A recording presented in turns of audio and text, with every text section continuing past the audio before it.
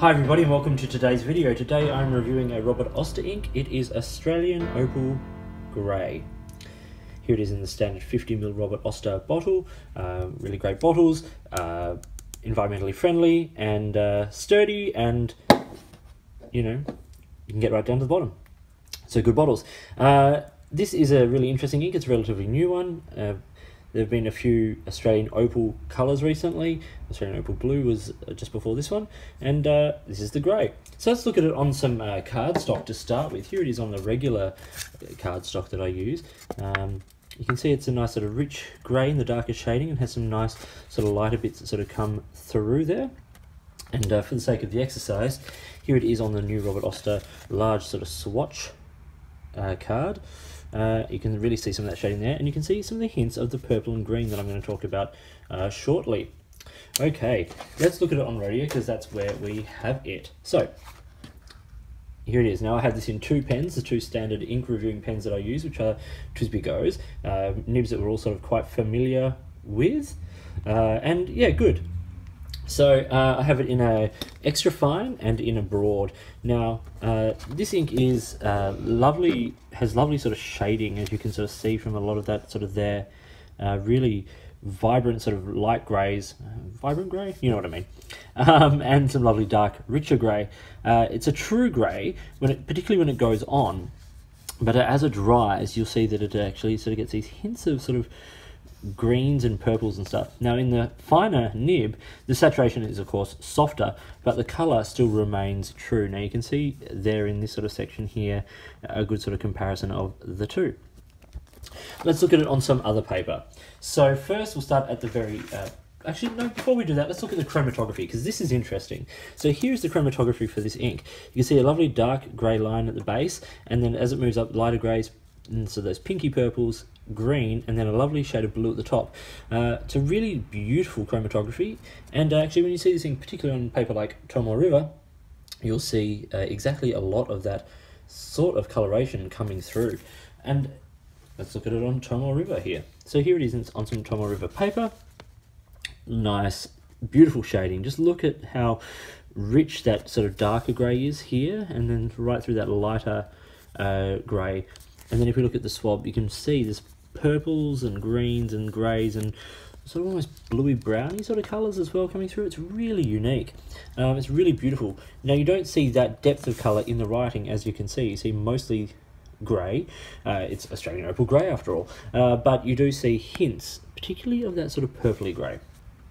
Oh, as you can see on this paper, which is sort of more ink resistant, uh, you know, you sort of get a nice sort of sort of slower dry time and it performs really really well. Nothing comes through. There's no bleeding or feathering. And the color looks great. As we move down the chain well we have it here on Rhodia and as you can see on the back of this Rhodia paper nothing comes through there either. A little bit uh, where I dropped a big blob but not really. And as you can see there's no uh, there's no feathering or anything like that. It's it's really quite a well-behaved ink. Moving down, uh, here on the regular copy paper, we start to see some feathering. Uh, as to be expected. It is a relatively wet ink, I would say, uh, not super wet, and these aren't super, super wet nibs, um, but there is feathering there, and of course there's a little bit of bleed on this paper. Now, lower end, again, this is the student notepad, bit more feathering, it really soaks into the paper, so there's less shading, there's a little bit there. It is a very high shading ink, really, um, and then more bleed through on the back. So it's not the most, it's not the best performing ink, and in fact, if we even look at it here on the Rhodia, I did say there was no feathering, but there is the occasional little bit of sort of spread uh, on the ink, uh, and that's because it is quite wet. Um, so what we're going to do is let's do the water test and we'll talk through some of the scoring. So I'll drop some water on there. Good. Okay, let's talk through some of this. So shading is excellent, as I said. Sheen, well, there's none. It's not a sheening ink. Um, really, it's it's a pretty muted sort of matte color. Shimmer, none. Saturation is fair. In the wetter, broader nibs, it's great. In the softer, in the finer nibs, it's a little bit softer. Wetness and flow is good. Bleed is good. As I said, on lower end, yes, we get some. Feather, yeah, there's a little bit, but not so bad. Dry time is excellent. This is 10 to 15 seconds, uh, 15 to 20 seconds, sorry, on Rhodia.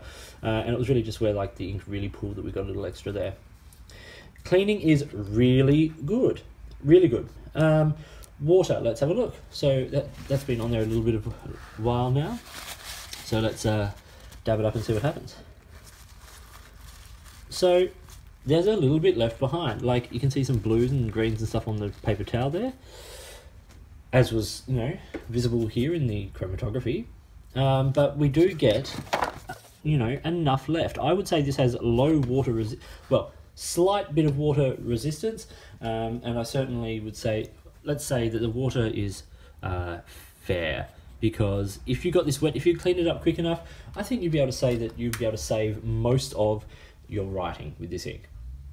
Value is good. Now these 50ml bottles retail for around around 20 17 to 20 dollars depending on your currency and where you get it from this ink isn't widely available yet um, i'm assuming it'll be picked up by a few other major retailers but at the moment uh, the availability is limited so um, look around and check with your local retailers if they are going to stock this particular ink so let's do the scoring and then we'll look at a couple of these colors in comparison. So overall, I say this is a out of, using these criteria, this is a three out of five. It's got a fair performance. There's a little bit of feathering, a little bit of bleed on some paper. Um, there's a low X factor. There's no sheen or shimmer or anything like that. Um, but it isn't problematic. It cleans well. It's reliable. It is pretty pretty good. Personal taste. Now this is sort of my personal interest in the ink. I give it a 4.5. This performs really well. I love this color. I'm a big grey fan, uh, so I do like this. And in a wet nib, it is just a glorious ink to write with. Even in this broad uh, TWSBI Go, you can see that uh, you know the line it's laying down is just beautiful and the shading is absolutely glorious.